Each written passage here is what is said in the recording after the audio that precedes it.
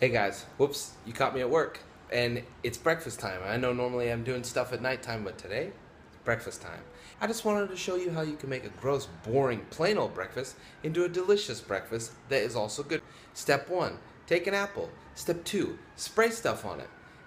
It's called Apple with Spray Stuff. Thanks guys, and happy breakfast.